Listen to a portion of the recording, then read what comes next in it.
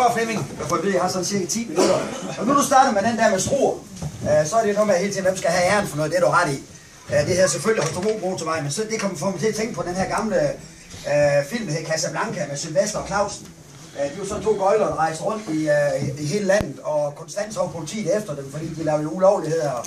Øh, og så en, en sen nattestund, der lander de ude, helt ude på landet, og, øh, og de har fået godt at drikke. Øh, de står op og har godt ondt i hovedet næste morgen, så næste han åbner campingvognen døren og kigger ud. Så siger han, Clausen, Clausen, skønt dig at komme på at se de gule kornmarker, hvor er det skønt på landet. Og Clausen, han kigger lige ud, og så siger han, glider sig i øjet, det der, det er prioriteter og pandebrev hele lort. så det der med Struer og Holstebro, det var bare lige for at sætte det på plads. Nå, men øh, det jeg gerne vil fortælle lidt om i dag, det er, jeg mener rent faktisk, vi har en regering for øjeblikket. Jeg, jeg vil gerne starte lokalpolitik, men jeg mener rent faktisk, vi har en regering, der fører det, jeg vil kalde ansvarlig politik. Man kan være uenig i delelementer af det, der er. Øh, og det, sådan, sådan, er, sådan, er, sådan er tilværelsen generelt. Vi er ikke altid enige i alt det, der kommer. Men vi må bare sige, at der er gået forud 10 år, hvor vi havde muligheden for at foretage nogle af de ting, som sker nu. Vi havde muligheden for at justere, inden krisen satte ind. Man vidste godt, at boblen den brist på et tidspunkt. Desværre så formøber man pengene på det tidspunkt, og det er så den her regering, der er kommet til at stå med ansvaret. Jeg tror, det man har glemt at fortælle, det er historien om, at når man satte sig op i tårnet, og var tre forskellige partier, og ikke mindst, hvad historien fortæller, at når vi har radikale med, så ved vi godt, at det er på både godt og ondt, og det betyder, så sætter vi ikke alene fodaftrykket. Og det er jo også det, vi kommer til at, at erkende. Men det, der betyder, det er, at vores regering har taget fat i det, der er aller, aller vigtigste, det er, at vi har styr på økonomien her i landet. Og, og når vi så har det, så skal vi have lavet vækst, og vi skal lave arbejdspladser. Jeg er en af dem, der generelt er rigtig godt tilfreds med den vækstpakke, der er lavet. Jeg er jo ude besøge vores lokale virksomheder. Jeg, så, jeg var allerførst på året, var ude ved Arla, der gerne vil udvide her i Holstebro. Jeg har tre afdelinger, de vil gerne udvide for godt, to, for godt 100 millioner. Det, der er deres problem, det, det er egentlig ikke lønninger. Fordi, som de siger, vi har en dygtig arbejdskraft, vi er mere innovative, vi er bedre til at samarbejde end bare, hvis vi tager vores naboland Tyskland. Det skal vi nok klare os på. Men det er, at vi har nogle afgifter, som presser os rigtig, rigtig meget. Og det, at der sker eksempelvis her omkring spilvandsafgiften, der er sat ned, det betyder noget for dem. Og det gør også, at når de nu investerer 100 millioner hos Hostebro, som de er i gang med, jamen øh, så ser de også, at de har en bedre fremtid. Det samme var det, hvis vi snakker færdigt, så var det emballageafgift. Det var det samme var det, hvis jeg var ude og snakke med Jens Axel Bjerg ude på Valmer en jernstøberi. Jamen så var det jo afgiften øh, på, på, øh, på, på strøm, altså på kilowatt. Så det jeg mener, der ligger i den pakke her, det er, det er godt for vores arbejdspladser. Den enkelte medarbejder i dag ude på en arbejdsplads ser sig selv igennem arbejdspladsen. Det vil sige, hvis arbejdspladsen har det godt, så har den enkelte medarbejder det også godt. Så jo bedre arbejdspladsen har det, jo bedre føler den enkelte medarbejder sig i dag i sit job. Det er der, der er sket i skiftet fra før krisen og til krisen. Og jeg tror, det bliver en ny virkelighed efter krisen. Så man ser sig bedre ind i, at man har sit job, end hvad der kommer i lønningsposen af ekstra. Og det er der, vi står lige nu. Og derfor ser vi også, at der er jo et kæmpe stort samarbejde imellem organisationer og, øh, og, øh, og, og, og øh, for eksempel Dansk Industri, Dansk Arbejdsgiverforening, fordi vi har en fælles opgave. Det er jo fagbevægelse og, og, og, og arbejdsgiver, øh, øh, det er jo, at vi skal sammen løfte det her, så vi får skabt nogle arbejdspladser. Jeg er jo borgmester i en kommune, hvor jeg kan sige, at øh, jeg er rigtig stolt af, at vi rent faktisk øh, synes, at gør vores beskæftigelsesarbejde øh, godt. Vi gør det bedre end landsgennemsnittet. Vi lægger med en ledighed her i februar på 4,8 procent, øh, som er, er, er under både øh, regionen og, og, og landsgennemsnittet. Og så noget af det, jeg synes jeg, er rigtig godt kan lide, det er, at vi har jo mange svage ledige. Vi har mange, der har det svært i det her år, som er svært ved at komme ud på det almindelige arbejdsmarked. Og rent faktisk så, øhm, øh, så når vi tager de sammenlignende kommuner, ikke bare dagpenge, men også kontanthjælp, øh, så er vi jo 33, gør vi det 33 millioner bedre end vores sammenlignende kommuner omkring os. Det tager jeg som tegn på, at vi har, vi har fat i noget af det rigtige. Og noget af det rigtige, det var for eksempel et arrangement, vi havde for, for, for små tre uger siden, nede i en sorte boks øh, ved Musikteateret her i Østerbro, hvor vi havde et arrangement, hvor over 60 virksomheder mødte op. Og det, der drejer sig om, det er det her begreb, der hedder Code of Care, altså det her med at tage det sociale ansvar. Øh, og øh, de 60 virksomheder, øh, da de gik derfra, der havde de sagt god for 105 flexjobber ud af de 268, vi har for øjeblikket i Osbro Kommune. Det er da imponerende. Og ikke nok med det, det betyder også, at de fortæller en god historie videre. Vi har lavet det, der hedder advisory board, altså nogen, der sidder ovenover og styrer mellem kommune øh, organisationer og, øh, og, øh, og, så, øh, og så virksomhederne. Og det, det, det er sådan noget, der gør noget, at det er, at vi sammen. Det er sammen, vi skal løfte de her ting i det her år. Vi kan ikke gøre noget bare alene. Vi skal have alle med omkring bordet. Så er jeg rigtig stolt af, og der har jeg lige taget overskrift med her. Nu ser jeg flere unge mennesker dernede, som er for videre fra produktionsskolen. Fornøjelse at se jer herude sådan en dag. Øh, det er, at det er jo de unge mennesker, som vi alle sammen ved, der er fremtiden. Jeg er rigtig stolt af, at vi i Holstebro Kommune, øh, vi, har den her, vi har den her plan for på landsplan, at vi skal op på 95 procent for en ungdomsuddannelse. I Holstebro Kommune ligger vi på 92 procent nu. Men hvad der er endnu vigtigere end at ligge på 92 procent, det er, at vi får dem ind i de rigtige uddannelser. Det hjælper jo så lidt, at vi kommer op på 95, hvis vi tager 20 procent, der skulle, der skulle have været på en erhvervsuddannelse og ikke på en gymnasialuddannelse. Og lige for øjeblikket, der drejer det sig faktisk om, at vi går frem på vores erhvervsuddannelse i tilgang, samtidig med, at vi går frem på vores gymnasialuddannelse. Øh, og det er jo der, det begynder at tage en rigtig pejling. Det jeg er rigtig glad for, det er, at Dansk Byggeri, Holstebro Kommune, 3F, øh, og så Uddannelsescenter Holstebro laver den her aftale, det vi kalder en ambitiøs øh, partnerskabsaftale, der vi underskrev her den 23. april.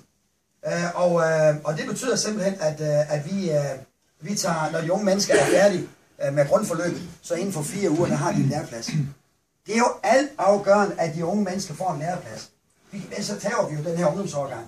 Der er ikke nogen, der kunne forestille sig, at, at uh, vi siger, at når man er færdig med første år af gymnasiet, så kan du ikke komme videre på anden år, fordi der er ikke lige plads til dig. Så det er jo helt, det er jo helt, det er jo helt frygteligt, at vi har så mange, der står og tror, at de kan komme ud og, og, og få lov at komme videre med deres uddannelse.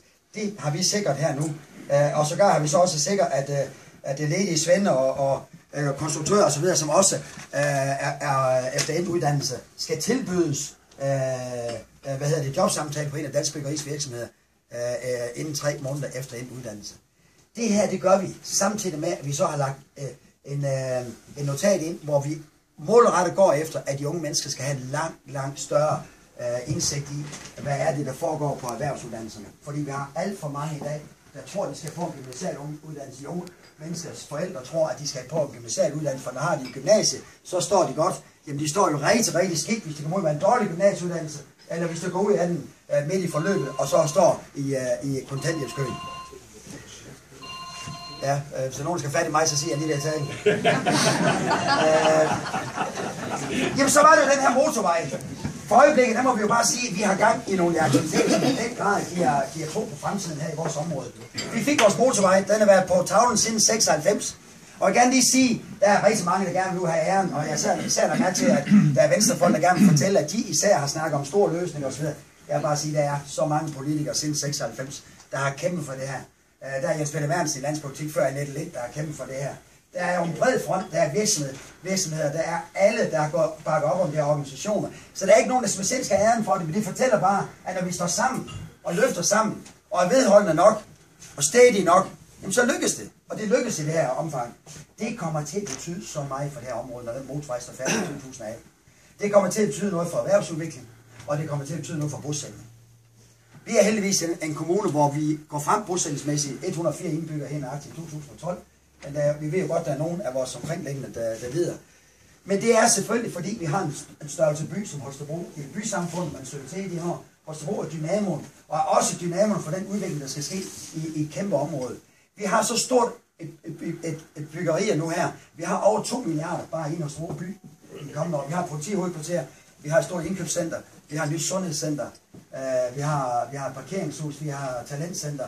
Vi har så mange byggerier, der ligger foran os. Vi kan i gang med at renovere de almene boliger for 350 millioner kroner, og, og de næste åringer her i Aarhus Kommune.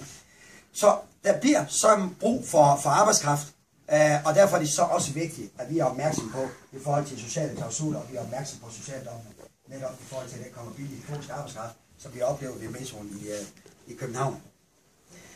Øh, så, så, så det jeg vil sige med det, det er, jeg tror på den udvikling, som vi har i gang i Holstebro. Jeg mener faktisk, vi er ved at skrive en ny historie.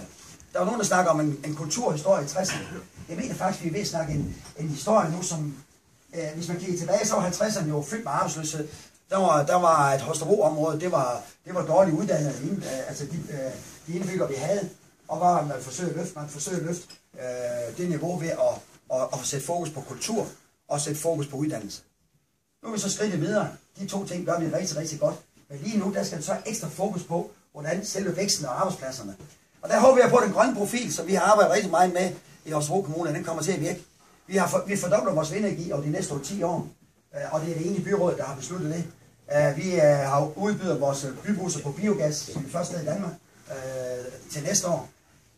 Vi håber, at sammen med Struer Kommune, Struer og Holstebro Forsyning, at at bioetanolprojektet, at det lykkes. Altså den første anden generations udgave af bioetanol, som ikke skal bruge fødevarer uh, til, uh, til, til, til bioetanol, men som skal bruge råvarer som halm især. Uh, det er et projekt til 2,9 milliarder. Vi har været i gang med det i over to år. Uh, det skal kobles på vores biogasanlæg ude uh, ved Måbjerg. Hvis det lykkes, og det ved vi her til efteråret, så er det 1200 arbejdspladser. Det er vel at mærke 1200 fremadrettede arbejdspladser. Det er masser af arbejdspladser i ufaglærte, især i transportsektoren. Det er rigtig mange faglærte i servicesektoren. Det er jo kæmpemæssig raffinaderi, der skal serviceres døgnet rundt. Og så er det vidensarbejdspladser i den sidste del, altså de spændende, som gør, at Dong og Service er gået med i det her. Det er netop den viden øh, omkring energi og miljø, som er en salgsvare til de store lande, ikke mindst øh, eksempelvis Kina og Brasilien. Så det jeg vil sige med det her til sidst, det er, at jeg har en enorm tro på fremtiden for vores område. Det, der bare drejer sig om, det er, at vi skal sørge for at have alle med. Der har jeg så lige sådan en lille øm til sidst til regeringen det er, og det vil også sige min første majtale senere i dag, det er omkring øh, dagpengene. Ja, der er sat ned til to år, men jeg synes for al retfærdigheds skyld og anstændigheds skyld, lad os nu se på den genoptagningsret, som, som jeg synes, man skal, så man, så man ændrer den, så, så, så man yderligere kan komme over de to år, hvis man har været ude under et års arbejde. Ja. Godt, men ellers til sidst her, øh, jamen vejret er jo godt, jeg håber, der er, at, bortset fra jer her i dag, det er så flot et fremmøde, fantastisk at se unge mennesker til sådan et arrangement her, jeg håber, det kunne få jer til at møde op til lignende arrangementer. Og ellers så, øh, så vil jeg bare sige, at øh, det kommer ud, og der er jo først meget møde i anlæg her senere i eftermiddag. Vejret er godt. Vi trænger alle sammen til at få lidt sol på huden. Øh, og så husk, til efteråret, der har vi et kommunalvalg. Og det er afsigtigt vigtigt, at i både Struer og Holstebro, at vi fortsat har socialdemokratiske borgmestre ledede regeringer her, der sagt. Fordi det betyder nemlig, at vi kan fortsætte den gode historie. Tak for ordet.